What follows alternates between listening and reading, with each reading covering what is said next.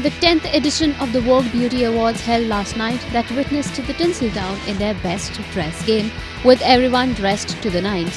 First, let's check out some Bollywood beauties. Bhumi Pednekar, Pooja Hegde, Shamita Shetty, Disha Patani, Diana Penty, Rhea Chakraborty, Shibani Dandekar, Swara Bhaskar, Aishwarya Rai Bachchan, Tanisha Mukherjee, Aditi Rao Hydari, Karisma Kapoor, and Sayani Gupta.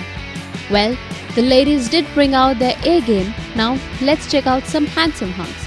Suraj Pancholi, Varun Dhawan, and Akshay Kumar, who accessorized himself with a cane. Sunny Leone with husband Daniel Weber and Shahid Kapoor with wife Mira Rajput made the event a couple's affair as both made adorable entrance with their respective partners. Senior Bachchan decided to make an entrance with his family, wife Jaya Bachchan, daughter Shweta Bachchan Nanda, and granddaughter Navya Naveli Nanda, but Abhishek was missing from the event. So make your choices who was the best and the worst dressed for the occasion.